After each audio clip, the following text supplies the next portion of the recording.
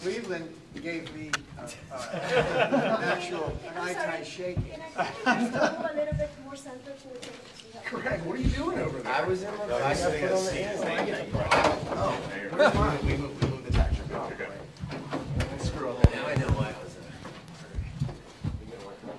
in. Name's right? The name's right. Uh, Shep, here, this is- Forget who I That's why.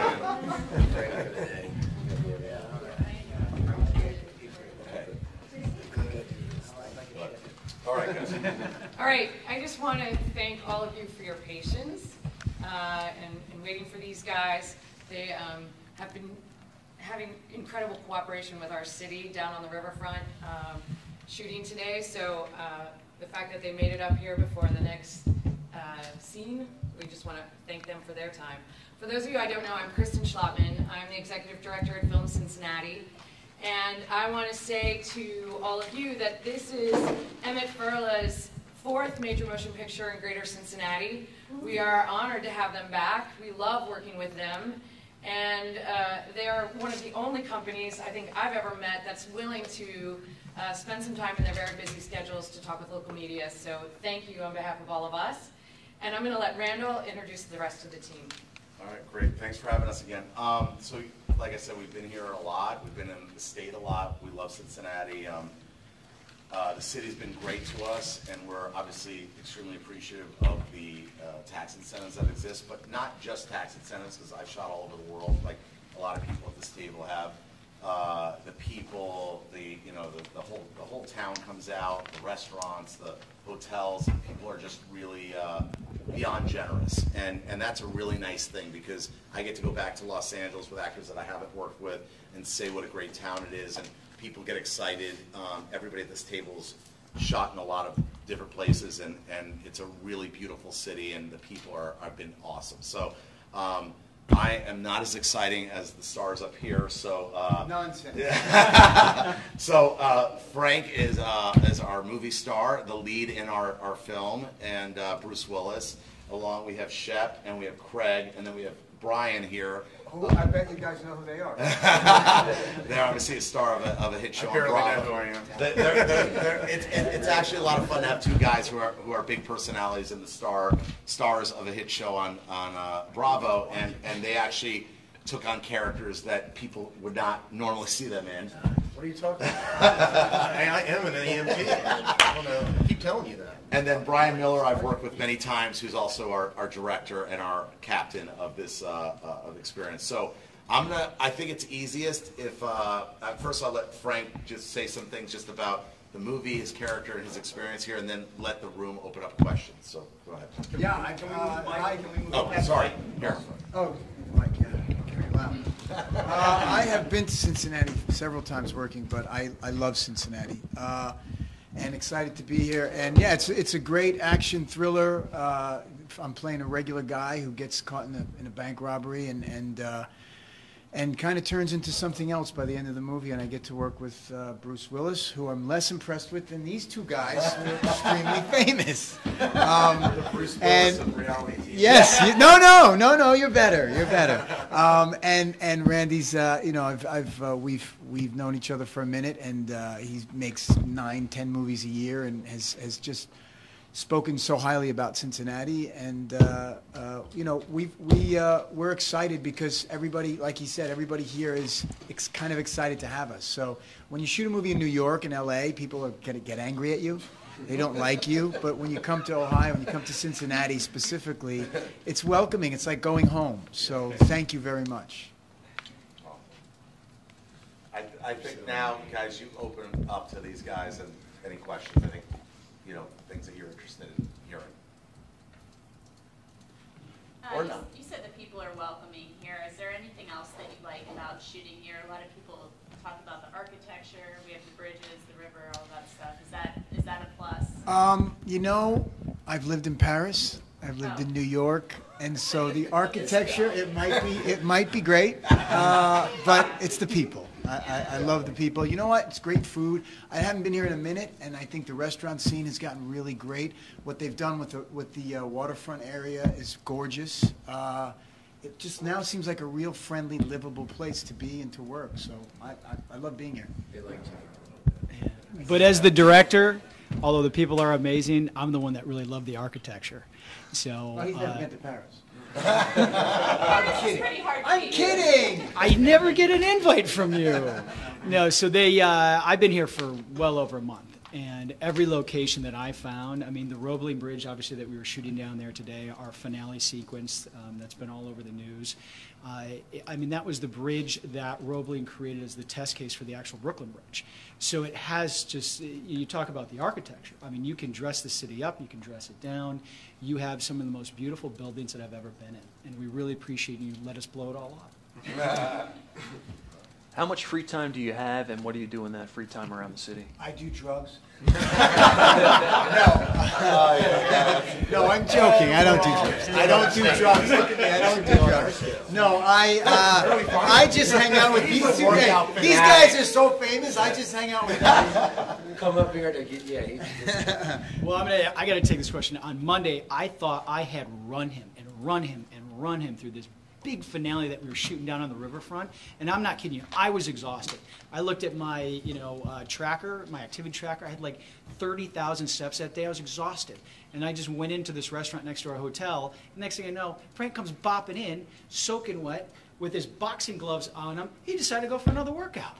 Well, no, I, by the way, and here's another great thing about Cincinnati. Dion Walker owns uh, Punch House Boxing Gym uh, on, on Reading, and every day I go and train with these guys, and they become buddies. Uh, so again, more friendly people and, and uh, everything available. And, and uh, yes, Cincinnati. I was actually uh, born here. You were? Yes, I was. I moved when I was. My dad got his first job out of uh, law school in Cincinnati, out of all places. So I'm, I, I, this is the first time I've been back since I was two and a half years old. so Has it's it a- changed? It's. I was the biggest baby ever in the hospital. I, but I've since been surpassed. I heard. I was 10 pounds, 23 and a half inches. I was a big sucker. And now they say you're the biggest baby in trouble. Yeah, exactly. I haven't changed. Grown, but not emotionally. so this is cool to get back. I mean, honestly, I keep asking my mom and dad about Cincinnati, where I'm, where I was born, and it's been so long. So uh, it's beautiful walking around, and I, it's a homecoming of sorts. Of course, I'm Southern, and that's what I identify with. But, uh, but but you know what? The Midwest is a lot like the South, in that the people are so nice and cool and welcoming. So uh, is this the Midwest or the Rust Belt? Midwest. Midwest. Okay. Midwest. So, uh, and I went to school down at Vanderbilt, so it's just, it's great to be back. I love it. The breadbasket of, of America. Yes, it is. Brian, why don't you just say a little bit about the story real quick? You know, just what, what the film is. Yeah. For somebody that doesn't know. Yeah, so it's a great kind of two-hander story. A hunter becomes the hunted, and uh, as Frank had alluded to, he works in this bank that we're shooting at downtown. Uh, and after the bank is robbed by this marauder who's attacking the city, uh, he is suffering some from severe PTSD. His family is also very financially strapped, and he begins working with his next-door neighbor, played by Bruce Willis, who's in law enforcement. First of all, to help him kind of ease through the situation that he experienced. And then secondarily, it turns into a mission where he wants to start figuring out beat by beat who is this guy? How did he do what he did? And how can I stop it and prevent it from happening again? And then he goes head to head with that same marauder. So it's uh, you ever see a movie like Heat where the De Niro and, and Pacino characters were going head to head? They were both brilliant at what they did, and that's a similar story to what we're telling here.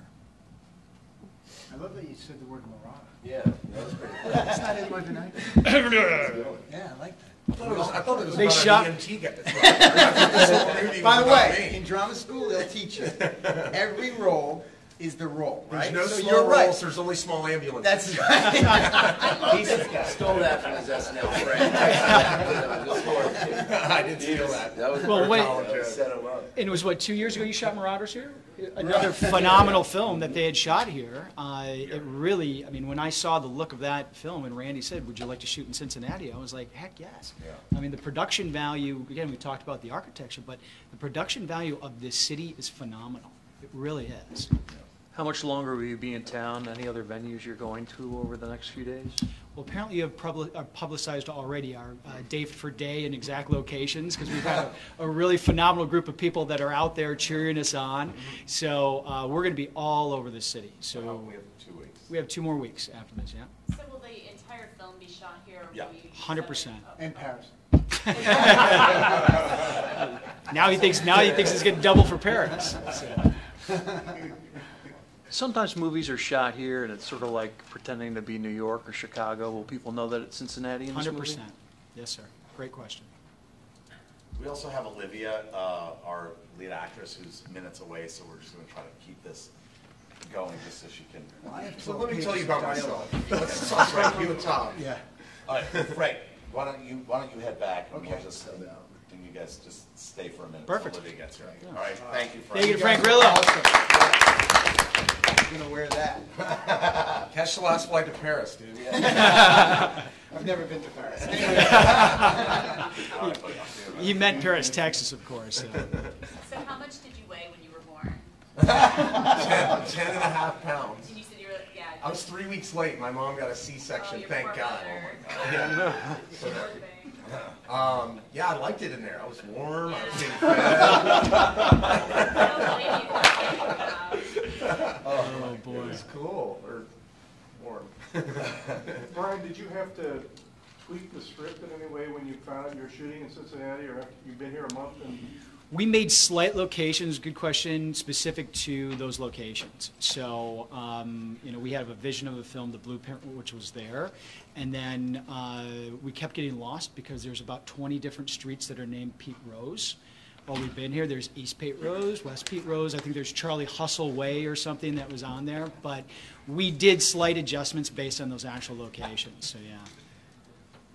And originally, don't hold this against me, I'm from Michigan. So, um, but we know why this is a swing state. this, uh, this is American 101. This is an absolute beautiful city, so thank you. You know my grandmother's name was Pete Rose?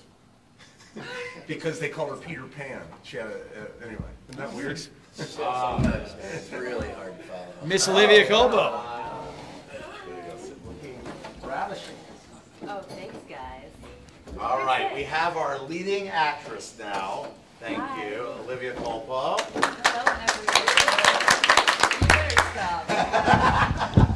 Um, There you go, so, Olivia. so Olivia, Okay. Olivia will tell you a little bit about the character she plays in this movie, and then they'll ask questions about your experience here. So. Okay, well, so Christina is an equal counterpart. Did they talk to Jacob already? No, Okay. no, so it's pretty much yeah, yeah. We're because Frank basically did Frank tell about his character? No. Yeah. He did a little bit. Oh, little so bit. he already came here. He was here, and then yes. and Got then- it, yes. okay. So I would like to think that I am an equal pou- co- counterpart to Jacob, my husband, in the movie. We have a diabetic daughter, Sophia, and we equally struggle with supporting her emotionally, but most importantly, financially. I'm a registered nurse, and I specialize in diabetes. And it's an interesting dynamic between Frank and myself in the film because we're both trying to, our best to raise his daughter, but we have the pressures of a marriage and financial issues, and then of course with the PSTD of the robbery and him trying to find Gabriel, there's a whole other element that kind of adds life to the story as well. Good. That was fantastic, actually. How you like Cincinnati? Most importantly, that's a good question. I love Cincinnati. You know, this is my first time ever even in Ohio, so um, I'm really happy to be here. Uh, I've been welcomed with open arms. I love. Um, I'm actually a good friend of Katherine Webb, and her uh, husband plays for the Bengals, so I know that I'll be seeing her. Even though it all comes back to football. AJ Green plays for the Bengals. He went to Georgia. I went to Georgia. AJ McCarron. No, AJ Green, Oh. right?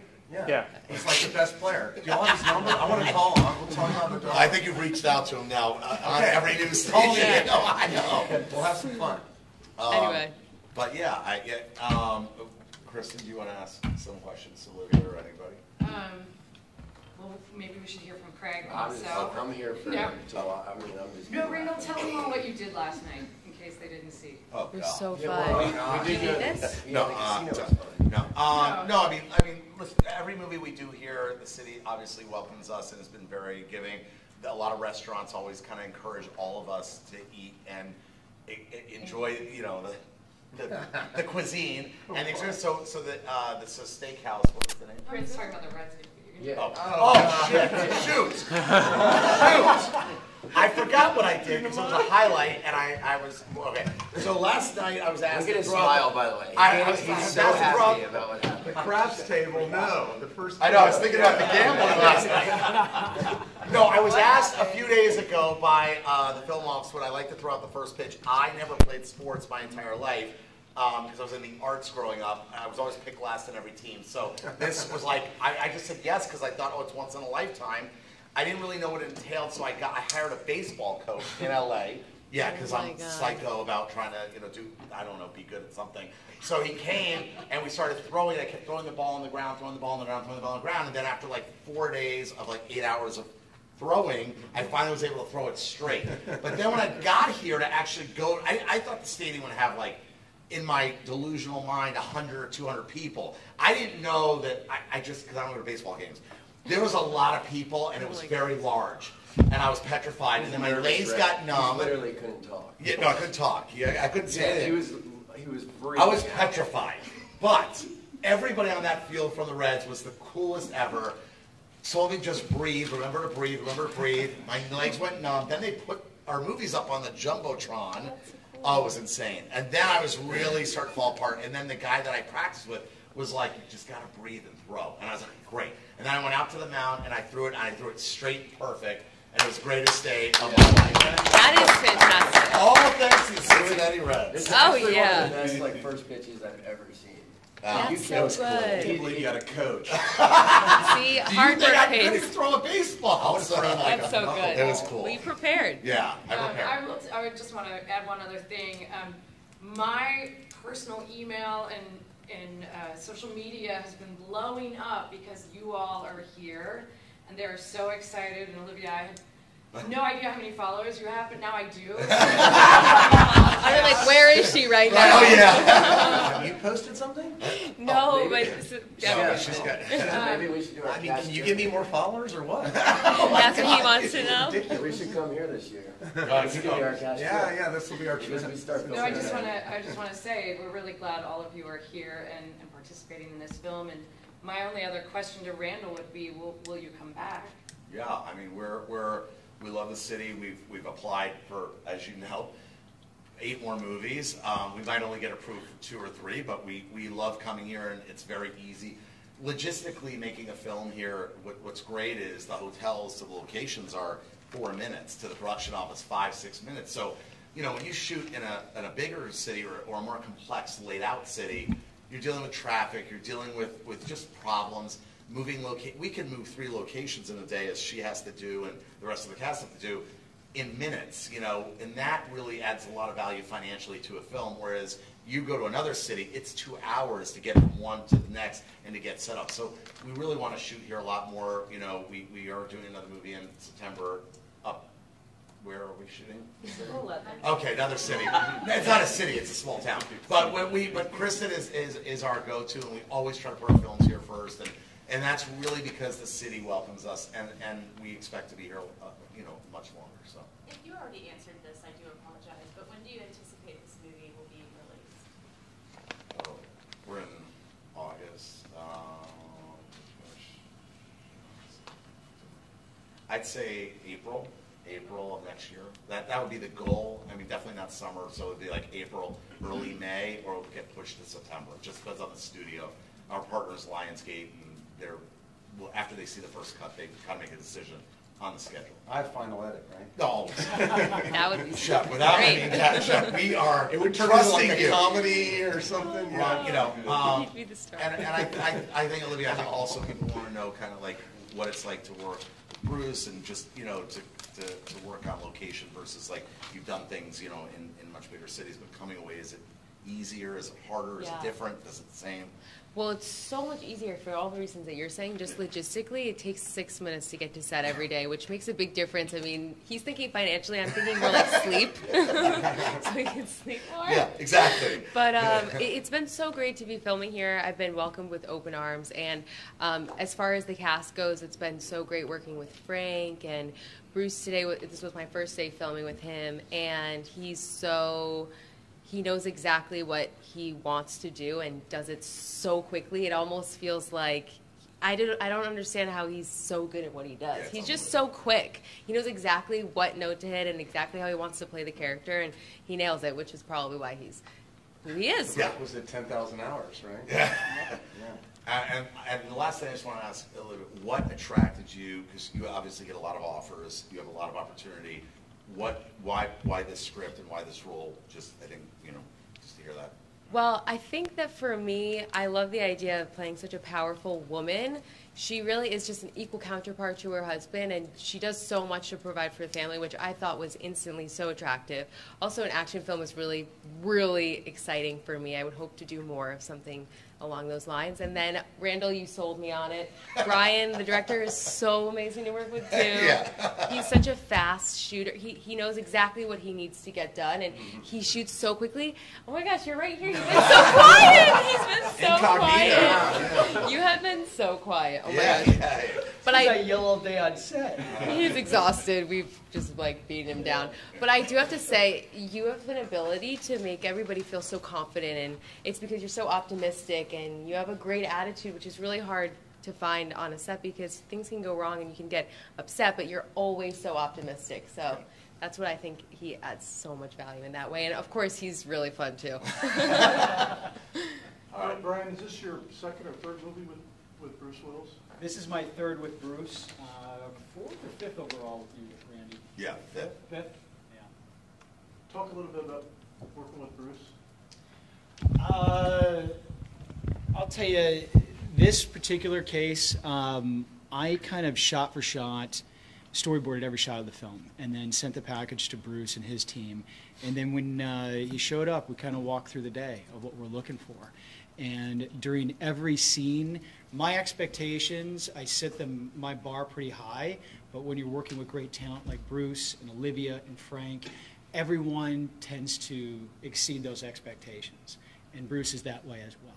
So it creates a wonderful uh, symbiotic relationship for a director and an actor to work with. A great example, when I first had the opportunity to meet with Olivia, she came into Emmett Furla, and as she had noted about her character, that their daughter has diabetes, and she came into the room and she was so prepared. She knew more than I did after all the research that I had done because of you know, a past uh, uh, friendship relationship that she had had. And she brought so much of that business and that knowledge to the table. It was phenomenal. So I kept saying to her, you know, give me more. And when she first flew into the city, she was making just phenomenal notes and bringing more to the table. And that's what you want from your cast. I always get that with Bruce, but it's my first opportunity working with uh, Olivia. And I think that uh, uh, this film is really going to shine because of the great talent that we have on the table. So, thank you. All right, you guys want to get back to work? yeah. Um, thank you guys for doing Thank you this. for having us. For all of Thanks, you, guys. 감사합니다.